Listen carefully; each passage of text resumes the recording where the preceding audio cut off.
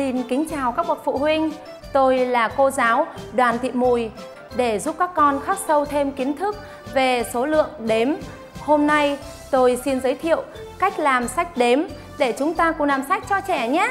Hoạt động này được áp dụng thẻ M4 làm sách đếm nằm trong bộ công cụ hỗ trợ trẻ mầm non làm quen với đọc, viết và toán thuộc chủ điểm thế giới thực vật mà trẻ đang thực hiện tại trường đấy. Thông qua hoạt động này giúp trẻ phát triển kỹ năng đếm số lượng, phát triển các cơ, ngón tay, cổ tay.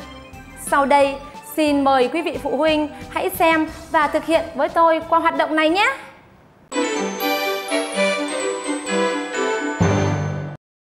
Hùng ơi! Dạ. Hôm nay cô cháu mình sẽ cùng làm sách đếm từ 1 đến 7 về chủ điểm thế giới thực vật nhé. Vâng ạ. Trên đây cô đã siêu tầm rất là nhiều những các loại quả và dán lên trước bức tranh. Con hãy cùng đếm với cô nhé.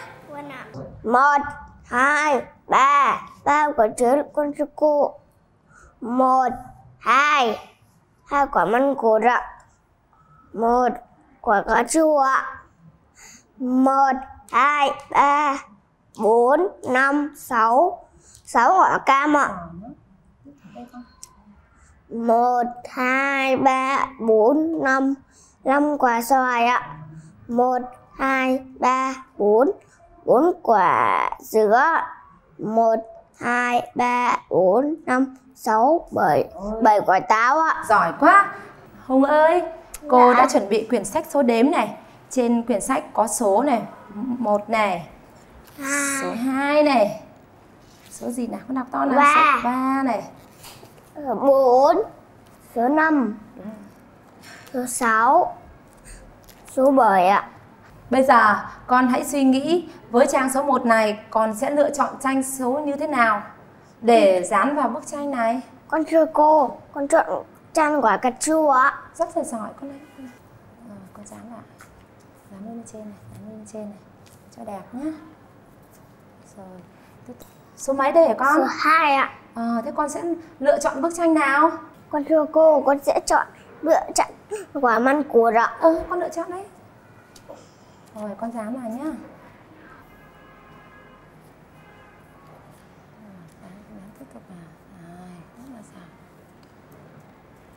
Vậy là con đã dán xong trang số 2 rồi. Bây giờ con hãy dán tiếp tục các trang còn lại nhé. Vâng ạ.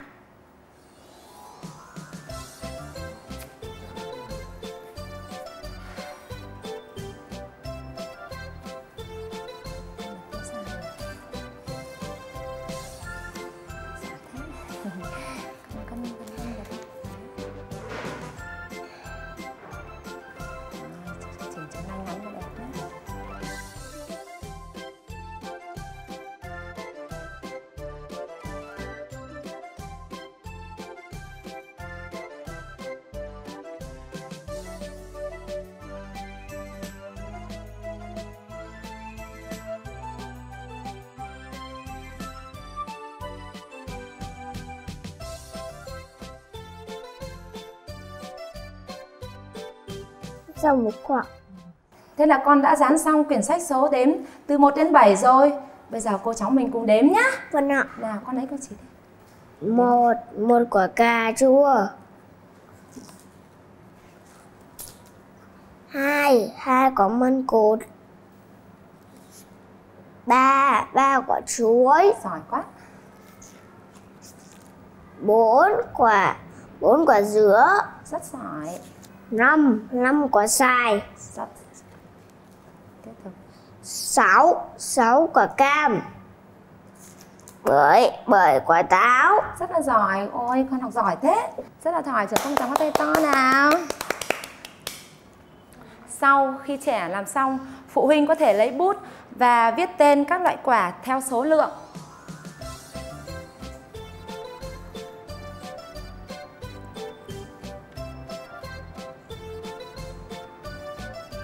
hoặc phụ huynh có thể dán các từ mà đã chuẩn bị sẵn.